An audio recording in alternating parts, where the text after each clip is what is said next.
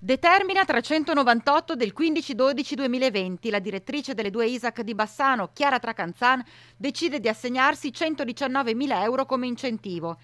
Determina 428 del 31-12-2020, la direttrice delle ISAC di Bassano, Chiara Tracanzan, decide di assegnare a tre funzionari delle case di riposo comunali 35.000 euro di bonus, nero su bianco, premi riservati solo a pochi intimi in una struttura tutta comunale. E gli altri dipendenti?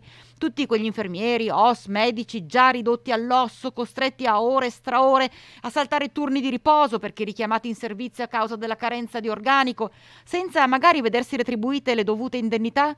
Su questo hanno battuto le tre rappresentanti CGL Cisle Will nell'ultimo incontro per definire la contrattazione, soprattutto dopo che si sono sentite dire che il fondo dei lavoratori di cui eh, stiamo parlando da mesi è veramente esiguo. Le risorse disponibili al riconoscimento dei lavoratori è veramente poco. Poco per i lavoratori, ma non per la cerchia ristretta che gravita attorno alla direttrice. A proposito di questo, abbiamo sollecitato che tutte queste risorse vengano spalmate in modo equo, pur riconoscendo la responsabilità di ciascun lavoratore. Di ciascun lavoratore, chiaro.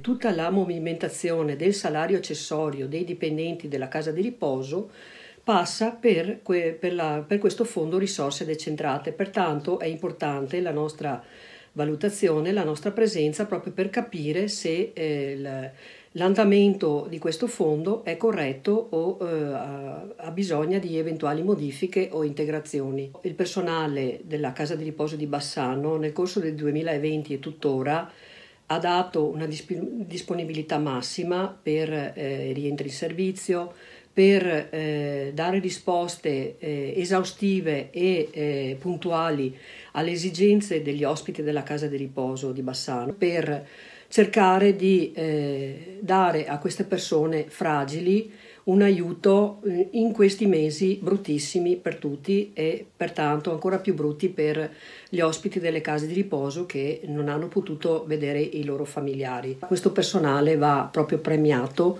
per la costanza e, e per la diligenza con cui ha, eh, ha lavorato. Alla condizione contributiva si aggiunge lo stato in cui versa Villa Serena, come vi avevamo già anticipato nei nostri TG. Edificio, vogliamo sottolinearlo, di proprietà del comune di Bassano del Grappa. È una struttura che va necessariamente rivista dal punto di vista logistico, dal punto di vista organizzativo, dal punto di vista anche delle assunzioni.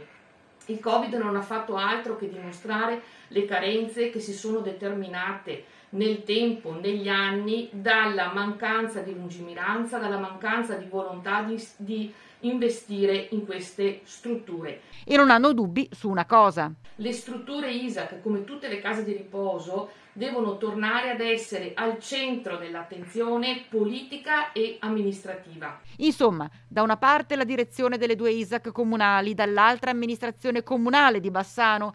È chiaro che soprattutto la sindaca Elena Pavan non può più tirarsi indietro o imputare colpe e responsabilità ad altri.